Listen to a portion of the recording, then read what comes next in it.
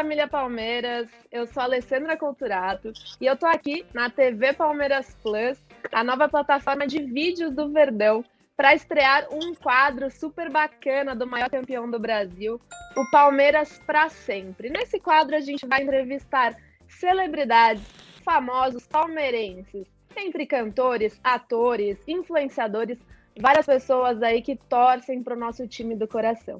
E hoje, para estrear esse quadro, eu estou com um convidado de peso, Jaime Matarazzo. Ele que é filho do diretor Jaime Monjardim e da produtora Fernanda Lauer. Jaime, tudo bom? E aí, Ale? E aí, pessoal da TV tudo Palmeiras bom? Plus?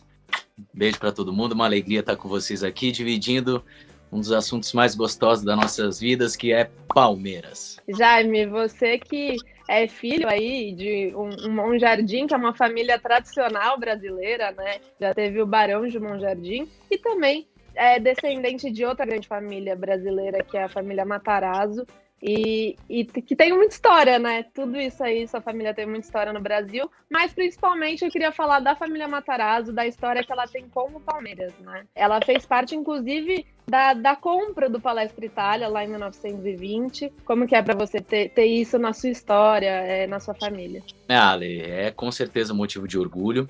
Né? Eu venho de uma família italiana com uma família é, alemã. Foi o meu avô, é, por parte de mãe, é, Valdemar Lauer, de família alemã, que o mais me influenciou a torcer pelo Palmeiras. Fui descobrindo ao longo dos anos né, essa nossa relação dos Matarazos com a história do meu time de coração, que já era o meu time de coração, por influência do meu avô materno. Descobrir toda essa história da família paterna me deixou muito feliz, me deixou, com certeza ali quando eu era criança me foi motivo de eu fortalecer ainda mais esse meu vínculo com o Palmeiras. Meu tataravô é o Francesco Matarazzo, um ítalo brasileiro, como ele gostava de ser chamado, mas um grande cara que cruzou o oceano sem nada no bolso, foi gerando muito trabalho é, para os outros italianos que vieram com ele nessa, nessa, nesse cruzamento aí do oceano, formou um grande império, responsável pela, pela formação das primeiras indústrias no, no país, com certeza influenciou muito na cidade de São Paulo, com todo esse, come, esse começo né, da nossa industrialização e de São Paulo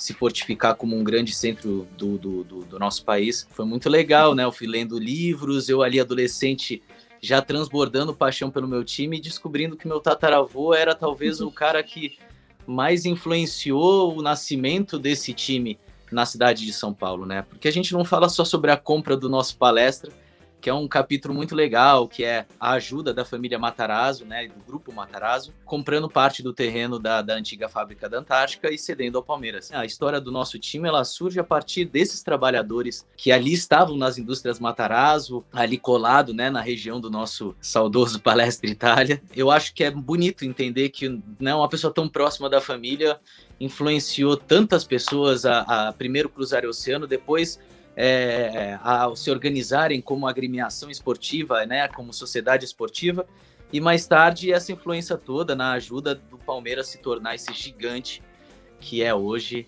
e nosso motivo de orgulho aí para tantos palmeirenses assim como eu que é, não tem uma história vinculada, mas morrem de amores por esse time, por esse clube.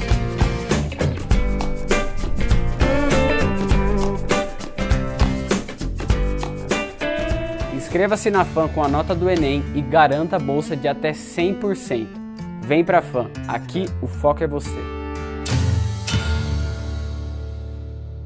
Atenção palmeirense, a TV Palmeiras Plus chegou. A nova plataforma de vídeo do Verdão.